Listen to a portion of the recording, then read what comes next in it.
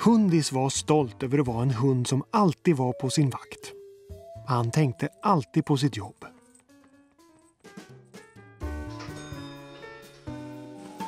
Men det verkar som att hans vän dörrvakten inte fattade det. Åh, vad är det gubben? Hungrig igen? Hissen är här! God morgon. Det är en härlig dag. Ha det bra! God morgon på dig också, hundis.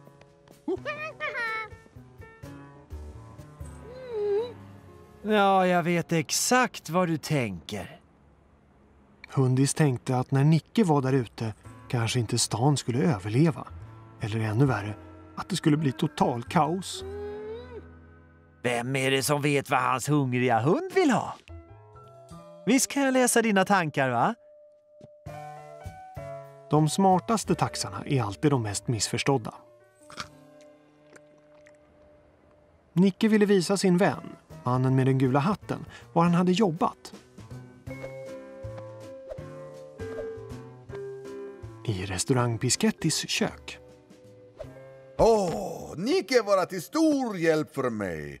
Han var särskilt bra på att städa upp efter sig. Ja, han har ju övat ganska mycket.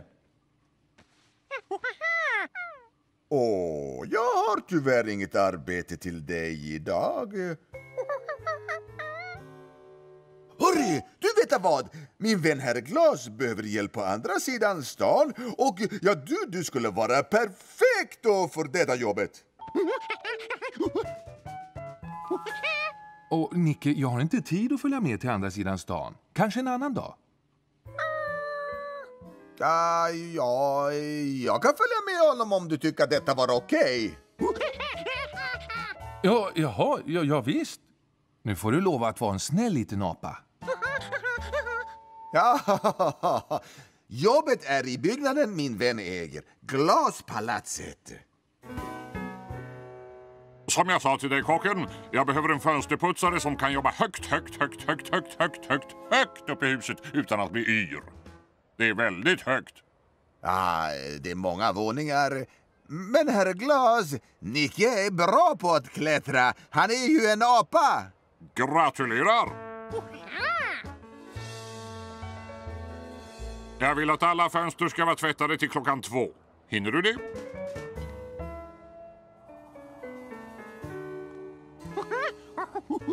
Så, här är allt du behöver. En cool keps. Fönsterputsning är ett viktigt jobb.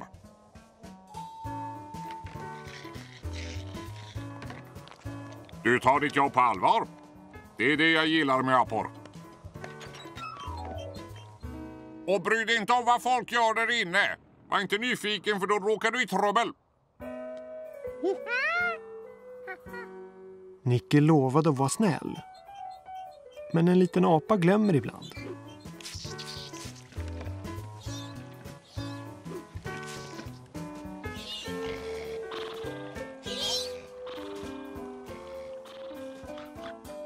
Det var svårt att låta bli att inte titta in. Men Nicke försökte koncentrera sig på sitt jobb.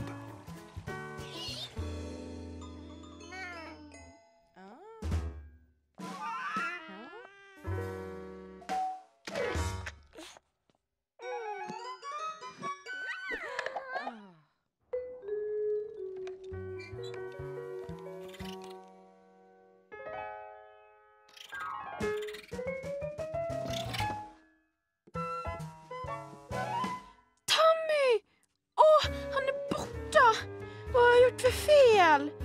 Jag skulle ha köpt det där fina hamsterhjulet.